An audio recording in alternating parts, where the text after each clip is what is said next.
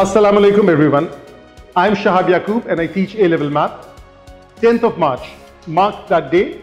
That's the day for the open house of Sceptre College. It's a chance to meet the faculty, talk to them, talk about your career choices, see the place for yourself. See you then.